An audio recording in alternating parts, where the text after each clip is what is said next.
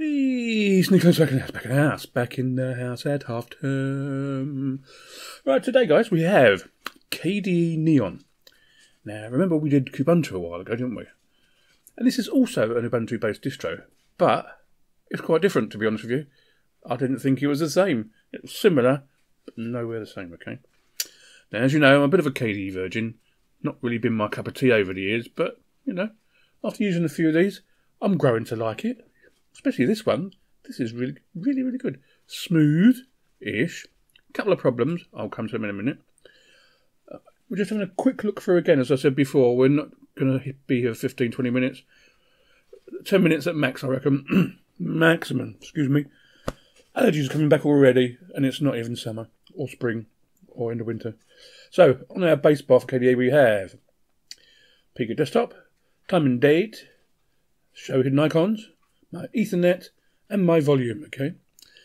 Now here, as standard, would normally be the Firefox icon, but I've changed it for Chrome, and I'll come to that in a moment. Then we have our file manager. I'll open it up for you so you can quickly see. As you can, I've got one thing in the downloads where I've got Google Chrome from. Okay. Next is Discover, which is their App Center or Software Center. Then we've got System Settings. Then we've got our menu. Okay. So first of all, we're going to go to our System Settings. And we'll click there. And up it comes.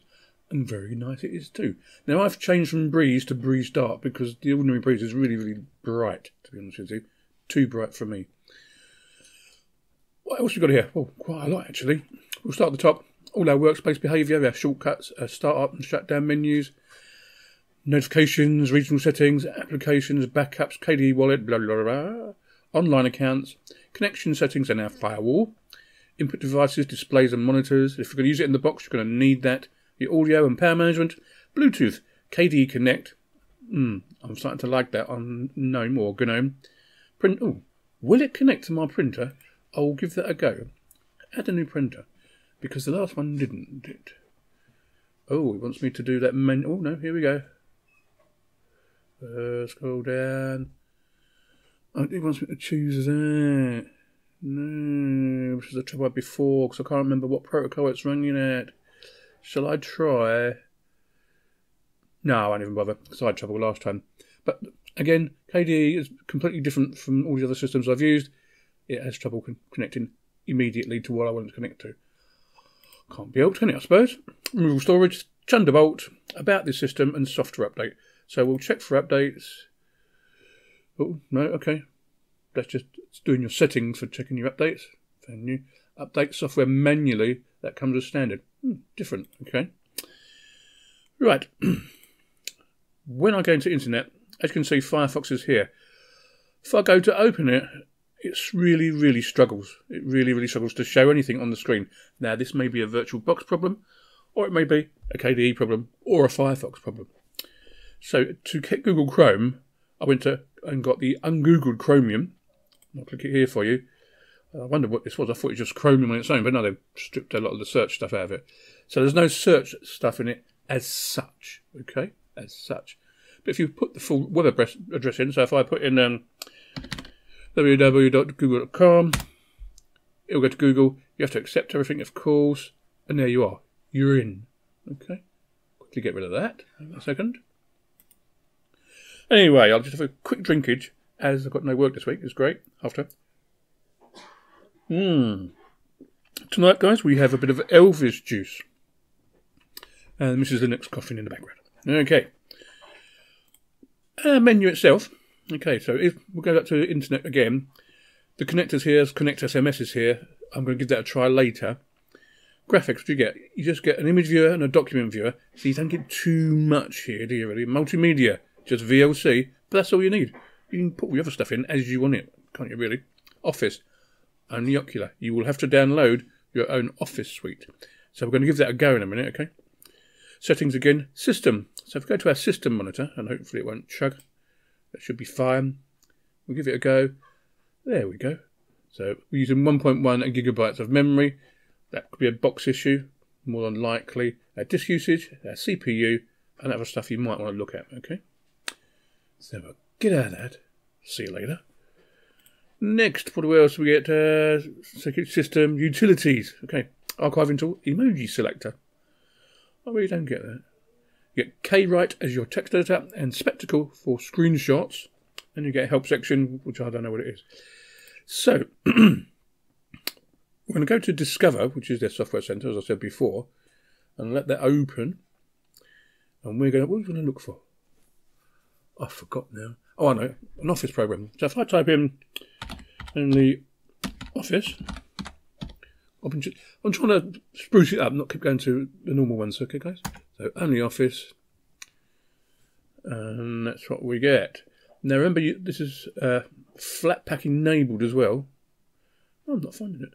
So if it's on the Flatpak, we should find it. Um, not finding it. No, no, Mm, mm, no, no. I have known disc. What about if I just put in? Oh, I'll just tell you what. This would be a better idea. If I went to Office, wouldn't it really?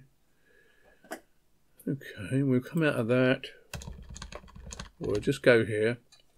We'll refresh that. Let it refresh.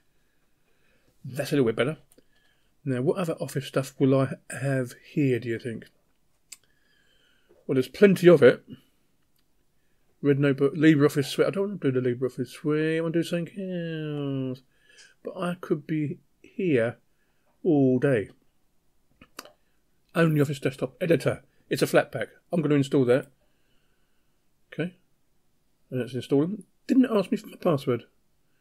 That's a weird, one, isn't it? We're at 21%. I'm just going to turn the fan up on the main system. Not that it's uh, particularly warm, but because I'm like that. It's just the way it is. Mm. Very nice, Mr. Elvis juice. so, this is Discover. So just, you know, discover stuff. That's what's in the name. Get lots of sections here, science and engineering, multimedia. I think it could be an easier one to use than some of the GNOME ones, or GNOME, whatever you call it. But yeah, seems okay. We'll just wait for it to install, then we're going to go and find it and open it, hopefully. Right, it's installed. So if we just knock that back, we go back to our menu. Remember, you can put desktop shortcuts on the desktop if you want so. Go to Office, and here's Only Office. We'll wait for that to booty uppy. And we'll go to document, yeah. That's good, that's good enough for me. Load in my document. Yeah, that's super. I'm happy with that. Nice. So you can get everything you really need yourself. I mean, I like distros like that that don't come with everything you actually never need, and you have to end up taking it out, which is a big problem. Excuse me. Now, one of the things about KDE is all your widgets, okay? And I, I couldn't help myself. I'm going to have to do this. So if we right click and we go to add widgets, we're just going to get a widget and add it, okay? That's all. And we're going to go with the analog clock. That's super duper. Fine by me.